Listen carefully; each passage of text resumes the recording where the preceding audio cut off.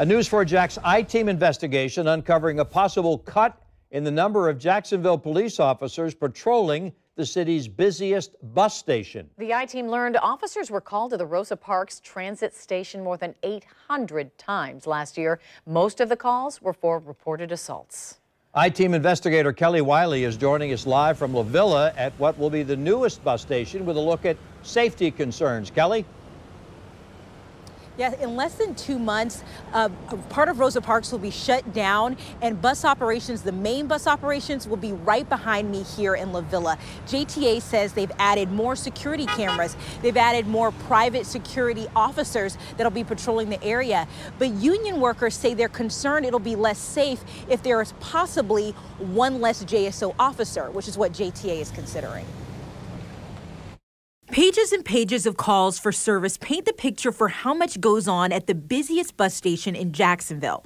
Jacksonville Sheriff's Office records show in one year they were called out to the bus station 875 times, more than 100 times for suspicious persons, 63 for domestic disputes, 27 times for mental illness, and 20 for assault.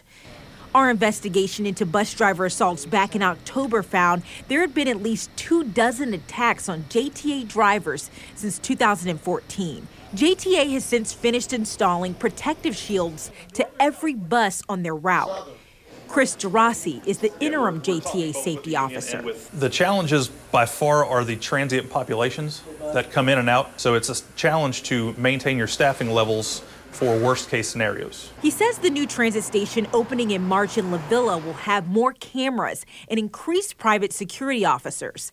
But a sticking point for local union members is JTA considering decreasing the traditional two JSO officers patrolling the transit station and using more security officers in their place. Having one less um, police officer down there is, is putting everybody at risk now you, you're actually putting that police officer at risk. JTA says they're still considering keeping the same amount of JSO officers at what will be their busiest transit station, but have not yet made a decision. We will have a much larger footprint of contracted security personnel here.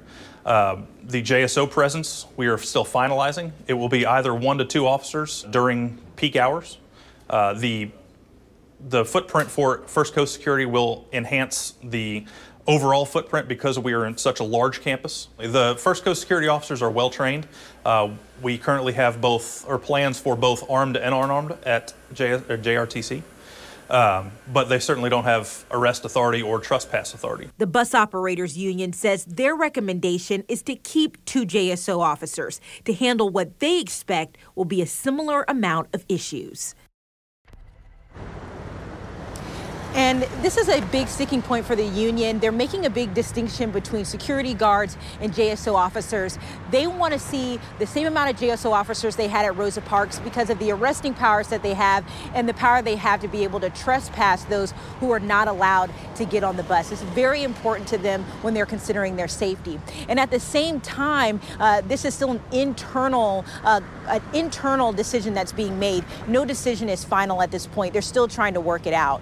All also happening a legislation that's stiffening the penalties for uh, anyone who would attack a bus driver. That's currently uh, being discussed right now and is set to take make it to the House floor uh, in the coming weeks.